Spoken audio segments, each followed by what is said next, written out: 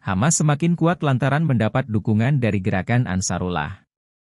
Adapun gerakan Ansarullah telah menembakkan tiga rudal ke Israel hingga menargetkan Amerika Serikat. Gerakan Ansarullah berasal dari Yaman. Ansarullah telah melawan koalisi internasional pimpinan Arab Saudi sejak tahun 2015.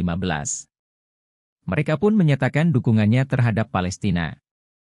Sebaliknya, gerakan Ansarullah melayangkan ancaman untuk Israel. Termasuk dalam perang Hamas-Israel yang memanas pada 7 Oktober 2023, silam, gerakan Ansarullah mulai membantu militan Palestina. Hal ini dibuktikan dengan rudal yang ditembakkan dari Yaman menuju ke Israel Utara. Beruntungnya, rudal tersebut berhasil dicegat oleh Angkatan Laut Amerika Serikat. Namun pemimpin Ansarullah yakni Abdel Malek Al-Houthi memberikan peringatan.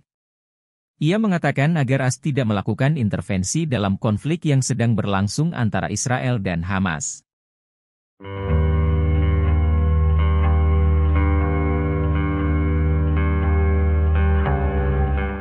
Download Tribun X sekarang, menghadirkan lokal menjadi Indonesia.